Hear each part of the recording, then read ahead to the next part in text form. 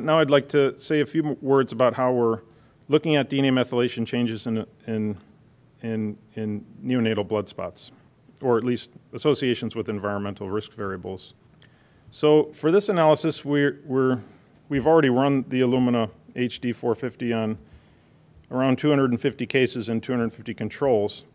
And these are the same leukemia, these, are the, these Guthrie cards and the cases are from the same leukemias that we performed the, the, the diagnostic blast cell leukemia DNA methylation patterns that I just showed. The way that, we, that we're going about analyzing the, the neonatal blood spot data is to first analyze association with environmental risk variables in the controls only.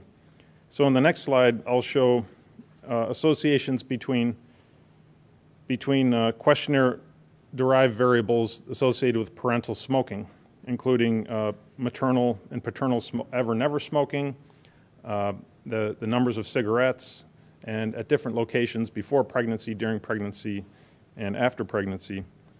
So I realize this is a busy slide, but what this slide is, uh, is portraying along the, the x-axis here are the expected uh, minus log 10 p-values that would be expected by chance if we did 480,000 comparisons. We would obviously expect a lot of low p-values, and this is the, the distribution of, of those expected. Here is the observed log minus 10 log 10 p-values here. And what we see for a lot of these variables like this one, this is passive smoking in the home after a child is born is that there really is no divergence of the expected and the observed p-values uh, all along here. And for this one, you might expect there not to be an association because this is, this is smoking, a, a variable of smoking after birth, and but what we're looking at with Guthrie cards is, is methylation patterns at birth. So wouldn't expect that to be associated or maternal ever smoking. If the, if the mother's not smoking at the time of pregnancy or near pregnancy, you wouldn't expect an association, and you don't see one. But we do see that for some of these variables, there, there's a divergence off the line of, of, of no difference, uh, such as maternal smoking during pregnancy. There is a divergence here, mother smoking while breastfeeding. That's a postnatal variable, obviously, but it, it may be, it, it is highly associated with maternal smoking during pregnancy. Here's maternal smoking in the three months before pregnancy and the numbers of, of cigarettes. So what we did to try to rank these various variables is use a, a, a test called a tail strength test. And as, as, as its name implies, it kind of measures the, the, uh, the strength of this, of this tail away from the, the line of no difference here. And in ranking these, these variables by tail strength, this is the tail strength, this is the, the variable, our, our top predictor here is maternal, numbers of cigarettes smoking uh, by mothers during pregnancy.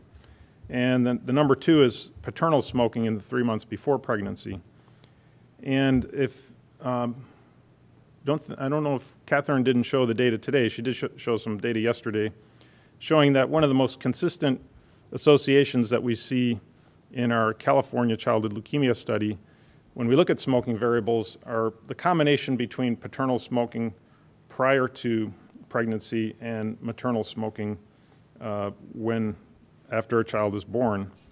And so these are these are of, this this one is highly associated with maternal smoking after after after birth, and they ended up being the top variables here whereas some other, other variables like uh, father, paternal ever, ever never smoking, passive smoking after birth, had very weak tail strength. So there may be some, uh, it's an indication that there may be, there may be some uh, relevance or, or some effect here from smoking and DNA methylation patterns. This slide is simply sh simply shows that there is some targeting to these methylation changes. So out of the 2,000 loci that have changed or, or are associated with numbers of cigarettes uh, by, smoked by the mother during pregnancy. These uh, tend to be overrepresented in, in CPG islands, and they tend to be uh, CPG islands in promoter, promoter regions. And I don't have a slide for it, but there's also an extremely strong p-value on the direction of methylation change. And that direction was a, a loss of methylation. So uh, mater both maternal and paternal smoking are associated with decreased methylation overall around the genome. And this is consistent with other studies uh, that, have, that have seen the same thing. So I think we're seeing a real effect. So we're not quite ready to publish this analysis, and in fact, we're going to do it all again, uh, and I'll show you why in the next few slides. So very recently, we've become aware, and we've become aware because we started to work with uh, some other some other statisticians who, who work in the, the DNA methylation field, uh, namely Andy Houseman at Oregon State. Who, Andy works with Karl Kelsey and, and John Wiencke, who's also long-term collaborators with us. And what, what Andy tried to do is, is take a look at, at what may be a problem in, in all of this analysis or, or a confounder here. And that, that potential confounder is the effect of DNA methylation on the levels of specific blood cell types. So when we look at DNA methylation in, in a Guthrie card, we're actually looking at the average methylation of many different types of white cells, T cells, B cells, granulocytes, natural killer cells, monocytes. So if, if there is an environmental association with methylation, it may simply be an environmental association with one of these cell types. If we lose one of these cell types or enhance one of these cell types, it's going to affect the average methylation pattern that, that we're observing here uh, in a blood spot. We have no way of pulling out these different cell types.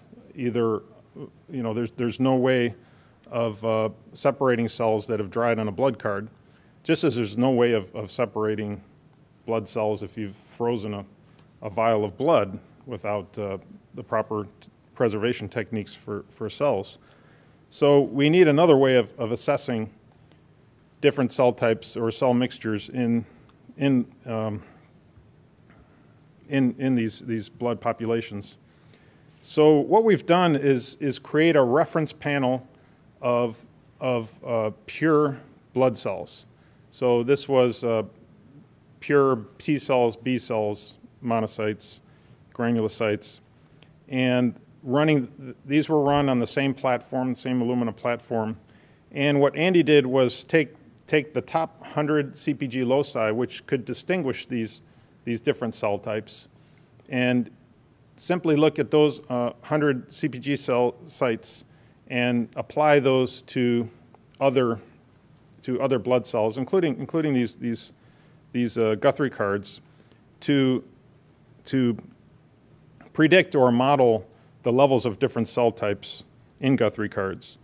So this is the, the way it worked out for, uh, if we put all of our neonatal blood spots together, and uh, Ritu, Ritu Roy is actually doing this analysis in our lab now with, uh, with help from Andy.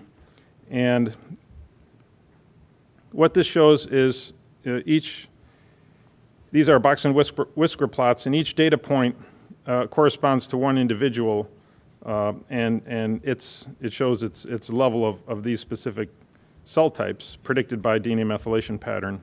And what you can see is that the, the, the levels, the levels or the proportions of cells here are about what you would expect in, in, a, in a blood cell population that went through a, a complete blood count. So we think that the methylation patterns are, are illustrating uh, a bit of truth, uh, hopefully.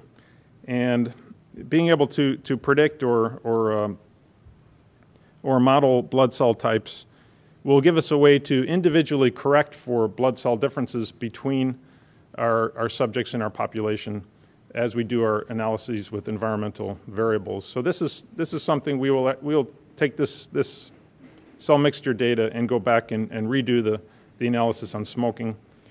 We've already, and I'm not going to show you today, but we've already done uh, preliminary analyses on pesticides, folic acid, gestational age, uh, birth weight corrected for gestational age. We're going to redo all these analyses correcting for blood cell mixtures and over this will this will occur over the next couple of months.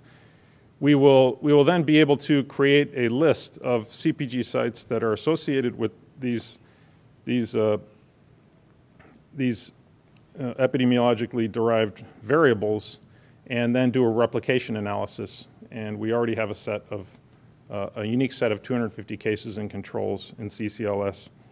Those DNAs are ready to go, so it's our, it's our uh, plan to do that replication analysis uh, late this year or early next year and uh, hopefully confirm or replicate a lot of these CPG sites with environmental variables.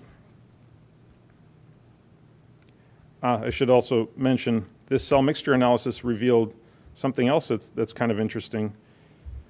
This table, I'm sorry it's not lining up very well, but these are, these are if we look at the populations of, of our Guthrie card cases for controls and controls and compare, compare the different blood cell types, case versus controls.